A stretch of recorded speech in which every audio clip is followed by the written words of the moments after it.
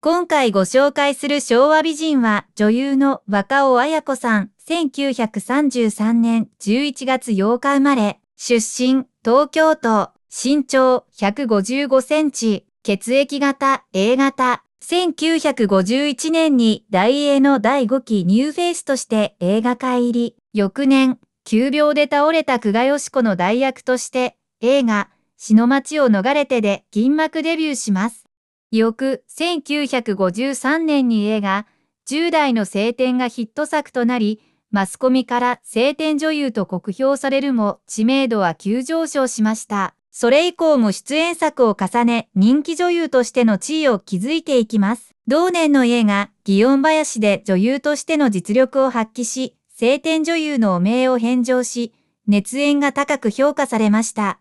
以降、可憐でありながら強烈な情念と内に決めた激しい気象を表現する演技から、日本映画を代表する正統派美人女優の一人となり、京町子、山本富士子と並ぶ大英の看板女優と歌われ、260本以上の映画に主演しました。1960年代半ばには各映画賞を総なめにするなど、戦後日本映画を代表する女優となります。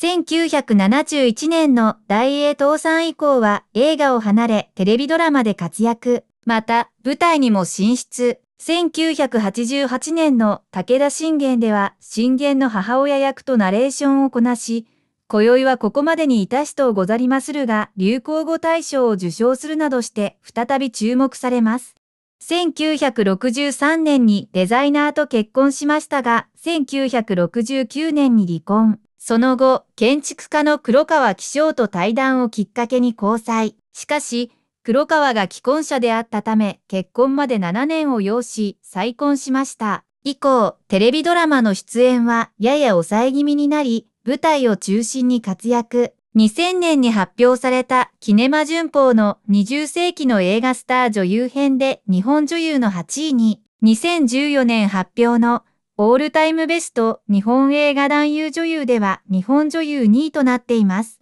最後までご視聴ありがとうございました。このチャンネルでは昭和の美人たちを紹介しています。よろしければチャンネル登録、高評価よろしくお願いします。